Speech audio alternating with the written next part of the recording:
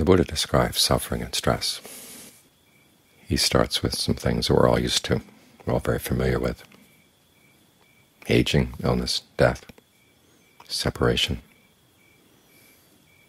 not getting what you want. That last one is interesting.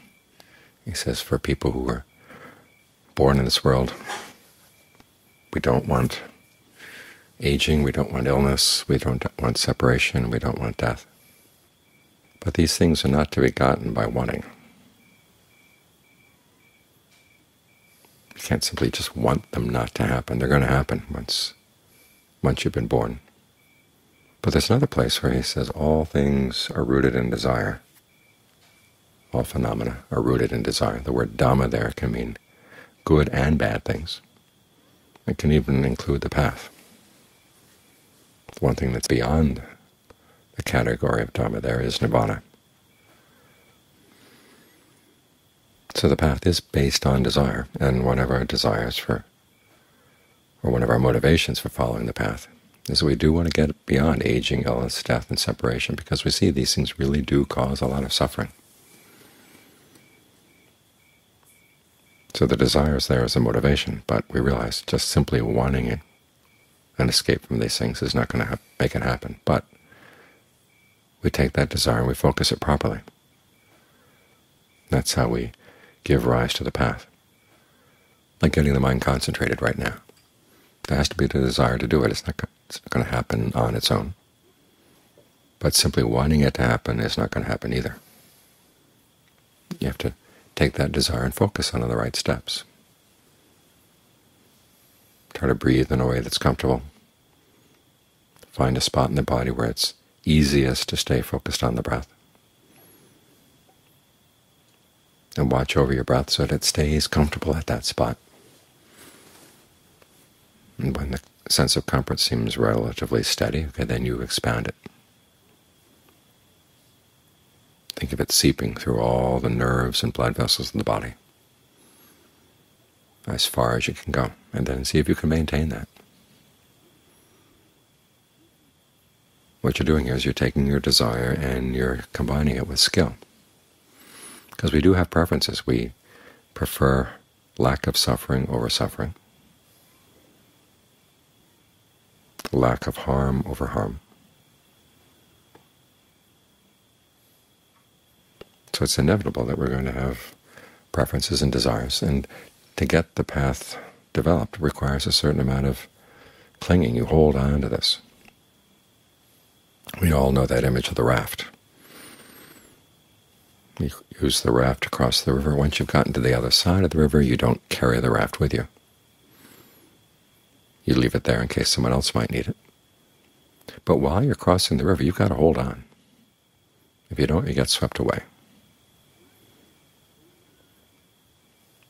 Sometimes I hear people getting all tied up in knots. They think, well, I shouldn't have any preferences, or I shouldn't have any clinging in the path. And the whole path is motivated by preferences. And there's an element of clinging, and there's an element of desire. It's part of it all. It's just that we don't sit there simply with the clinging and the desire. We try to figure out what's the best way to put this to use. We don't mix up cause and effect.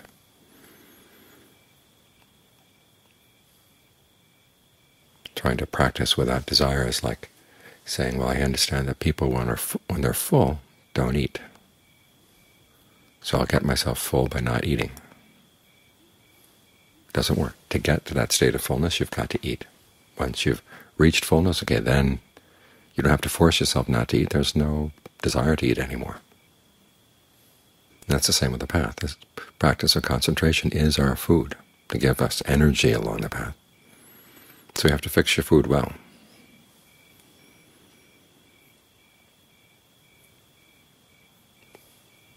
And then the path will take you where you want to go.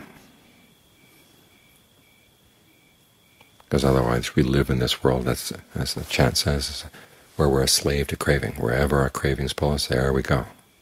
The image they give in Thailand is of a water buffalo that has a ring in its nose, and you tie a rope to the ring, and you can pull the buffalo any way direction you want because its nose hurts so much when you pull, it's got to follow.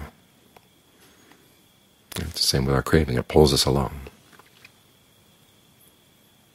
And so we have to figure out, okay, which of our cravings and desires are ones that are worth following. Because there will be a certain amount of stress as we follow the path. It's not an easy path all the time. It's not hard all the time. You have to be ready for whatever comes up. When they talk about the Great Way being not difficult for those with no preferences, what it means is whatever comes up, you're ready for it. Don't complain and say, well, I've got this problem right now. Why am I having this problem on the path? Why am I having this setback? The mind is a complex thing. You may be making progress in one area and falling back in another. And that's normal. There are times when you have to push yourself hard, and there's a lot of resistance someplace in the mind. Well, if you don't face up to that resistance and learn how to work your way through it, you'll never make any progress. Other times when it's easy. Okay, take advantage of it when it's easy.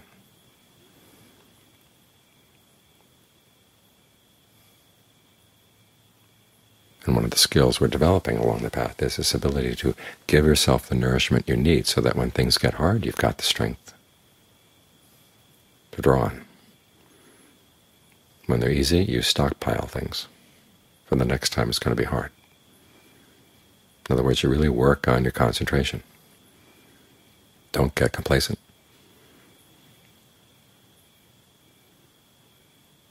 So that when the time comes and you need that extra energy, it's there. So this kind of clinging, this kind of desire is a really useful part of the path. And remember that even equanimity is something that has to be fabricated. It, too, is based on desire.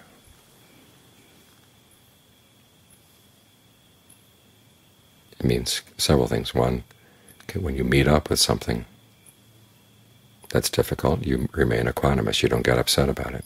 You just do what needs to be done. When there are areas where you can't do anything, okay, learn how to treat those with equanimity too, so you don't waste your energy, the energy that otherwise you could devote to things where you could make a difference. So even equanimity involves clinging. Even equanimity involves desire.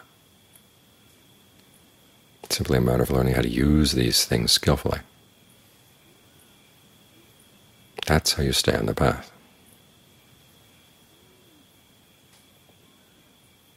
Because if you get off the path, what do you got? Just more aging, more illness, more death, over and over and over again, more separation, over and over again.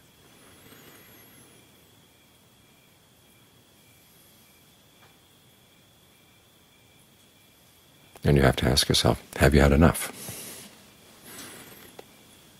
And if you want a way out, as the Buddha says, you can't get it by simply by wishing. But if you take that desire to get out, and then you focus it on a path that actually works. And this is what he's offered to us, a path that works.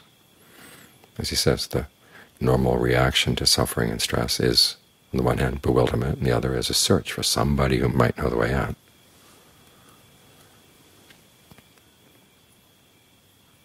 And so he's offering us the path as a way of ending that bewilderment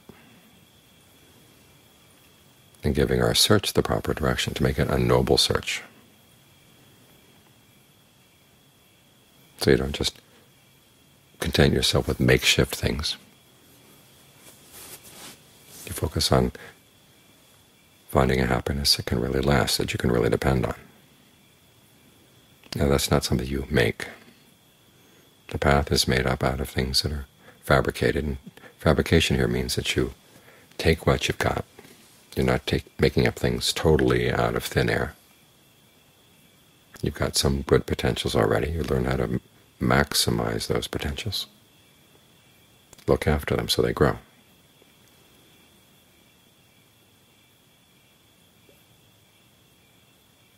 It's like looking after a tree. You've discovered that in your field you may have some weeds, so you get rid of the weeds, but you've also got some valuable trees growing, trees that can give you wood, trees that can give you fruit. So you look after them. Now you don't try to pull on them to make them grow fast but you nourish them. Keep the weeds away, make sure everything is nicely watered, and the trees will grow on their own. That's how the path develops. There's some things you do, and there's some things that come about as a result of what you've done. And to see which is which requires that you experiment, try various things. You may find yourself pulling on a few trees. Well, those trees are going to die. Well, next time you find a good tree, don't pull on it, but learn how to nurture it. And over time you get a sense of what really works and what happens on its own, what you've got to do and what will happen as a result. So you're not just sitting there with the desire or the wish, but you're taking that desire and wish, you're putting it to good use. You're not pretending you don't have it. If we didn't really want to find peace of mind, we wouldn't be here. We'd be off someplace else. But it's just learning how to approach your desires and wishes in a mature way.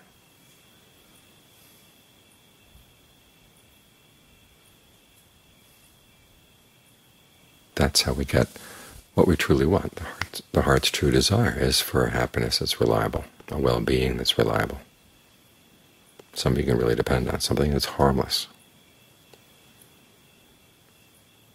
And as the Buddha said, there is a path.